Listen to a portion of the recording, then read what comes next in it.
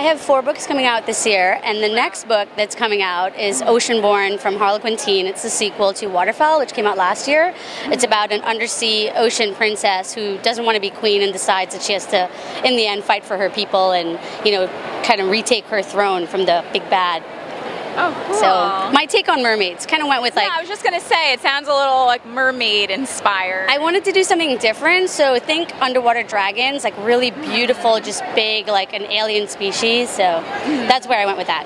oh, cool. Now, how how do you have five or you six? Yeah, six so- books. How how does that work? Did you write all of them sim- simultaneously, or You know, I'm, I'm very lucky in that I'm a, also I'm a fast reader and I'm also a fast writer. So a draft of a book usually takes me two to three months. Okay. So you know, I get the ideas, I jot them down, and then you know I try to flesh them out, see if they have the legs for a story, and then that's how it goes. So I'll have six books out by November of this year. So four this year.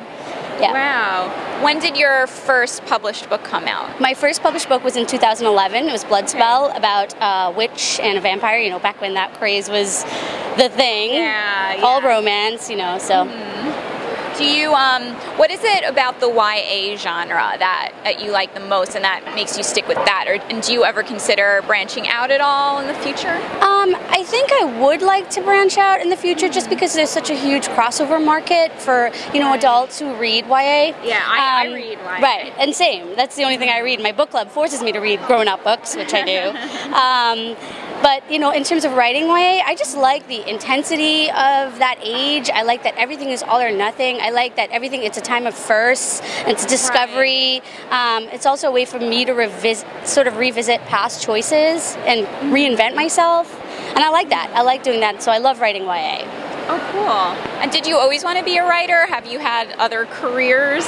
You know, I think I've always wanted to be a writer. I was published at 12. Um, I had poetry wow. published, and I won a Commonwealth writing competition when I was 15. And then Oh, okay. when I went to college, I kind of just got, you know, I, I took a different route, and because I wanted to make money and travel, which I did, and then sort of came back to writing um, about five, six years ago. So Oh cool. yeah, my mom was very happy.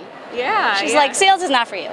Right. Go back and Oh, write. you worked in sales. I worked uh, for British Telecom, so I was uh, in um, you know telecommunications, and I managed global relationships. So I did travel a lot, oh, okay. which is awesome because Okay. it does, yeah, it helps me sort of create worlds for my characters and have experiences with different cultures. Mm-hmm. Um, you know, so that's always like a bonus.